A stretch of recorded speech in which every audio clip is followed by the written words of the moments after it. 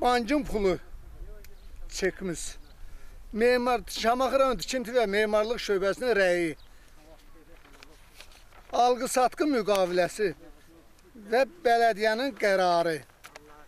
Bütün sənədləri yerindədir, təkcə torpağından başqa. Şamaxı sakini Salavat Zülfüqarovun evi sürüşmə zonasında yerləşdiyindən daim təhlükə ilə üz-üzədir. 2007-ci ildə ev tikmək məqsədi ilə aldığı torpaq sahəsində sonradan aktivləşən sürüşmə çəkdiyi əziyyəti də, xərci də hədər edib. Deyir ki, torpaq alanda ona bu ərazinin sürüşmə zonası olduğu ilə bağlı məlumat verilməyib. İndi də hansı quruma müraciət edirsə, eyni cavabı eşidir. Torpağı Şamaxı rayon bələdiyyəsindən almışıq. Həftənin 5-ci gündə bələdiyyənin qəbulunda olmuşam mən. Onun deməsindən belə çıxır ki, yəni ki, məndən sən torpaq alanda orada sürüşmə yox idi, mən satmışam.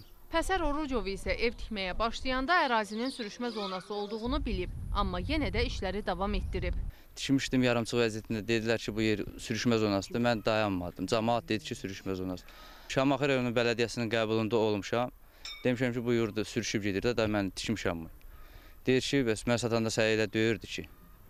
Hə, dedim nəticəsi nə olacaq? Deyir get hara deyirsən deyə. Sənədləri göstərirəm, deyir ki, saxtadır.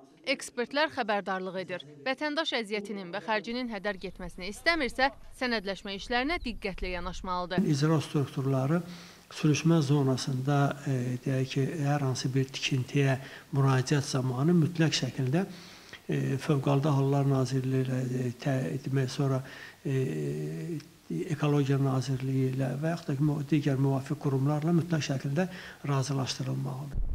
Bu gün bənzər problemlə üzləşənlər kifayət qədərdir. Baxmayaraq ki, Nazirlər Kabinetinin mühafizə olunan ərazilərlə bağlı xüsusi qaydaları var. Ölkədə dəmir yolları, avtomobil yolları, elektrik xətləri, su hövzələri, çaylar, kanallar, neft və maye qaz kəmərlərinə müəyyən olunmuş məsafədən yaxın ev tikmək olmaz. İnsanlar bu informasiyalar barəsində məlumatlı olmadıklarından və ya bilərəkdən qanunu pozurlar. Bu cür ərazilərin ucuza təklif olması ev tikmək istəyənləri şinlikləndirir. O vaxta qədər ki, hansısa təbii fəlakət baş versin. Sevda Rəsul qızı Cavanşir Seyfəddinoğlu, Şamaxı, Şəki.